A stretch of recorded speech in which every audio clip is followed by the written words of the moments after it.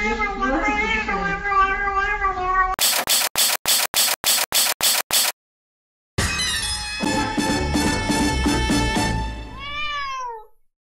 いどうもプラルでございます。今回もやっていきましょう。ということで今回はですねついに来ましたエヴァンゲリオンのコラボガチャの方ですね。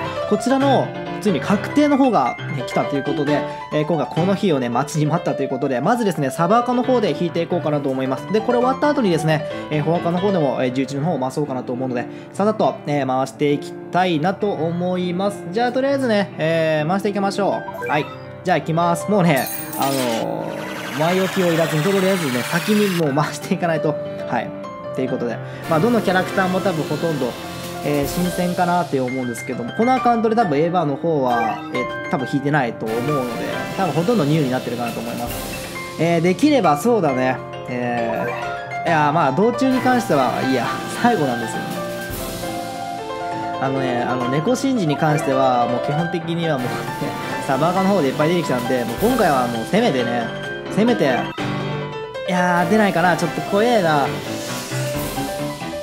さあさあさあさあさあ。最後まで取っておくっていう感じですかね。はい。おおこっちで来るか。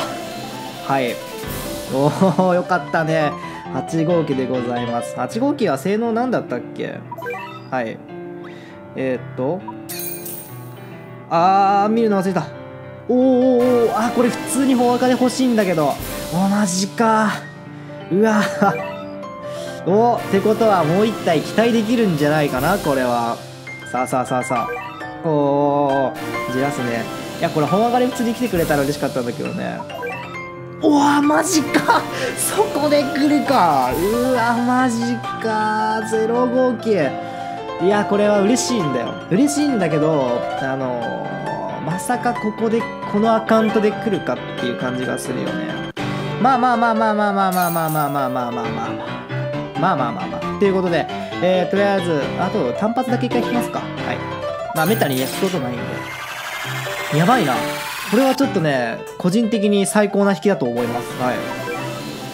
ということで、とりあえず、受注の方を回しました。プラス1回回しちゃったんですけどもね。とりあえず、えっ、ー、と、この辺はもう、あれかね。全部、えー、仕様にしちゃったんですけども。いやー出てしまったね。はい。ということで、ちょ、あのいや、まさか出るとは本当に思わなかったので、ちょっとびっくりするんですけども、これもう、法赤の方は多分もう、もう、嫌な予感しかしないと思うんですけども、まあ、とりあえずこのアカウントでは、とりあえず0号機の方が出たので、まあまあまあ、結果オーライじゃないのかなと思います。ということで、あのね、本当に普通にね、えー、性能ちょっと見るのか、えー、天使と浮いてる敵に打たれ強く波動打ち消すということで波動打ち消すのからから何？キャラクターに関してはですね、えー、普通にこのアカウントだったので重要性がすごい高いのですごい欲しかったのでこれであれかなあの今後ですね、えー、まあ一応ガオートが出なくても、まあ、ゼロ号機なんとかなるかなと思いますそう波動ストッパーはかなりでかい本当にでかいんでこれはちょっとね嬉しいですね使徒キラーですね。え残りちょっと短いんですけども、まあ、エヴァのね、ステージの方もちょっとこれやらないとかなと思います。あとは8号機ですね。8号機も、えー、使徒キラーと範囲攻撃と遠方ですね。えー、そんな感じかな。あ、ちょちょちょちょちょ、待って待って待って、テンポが。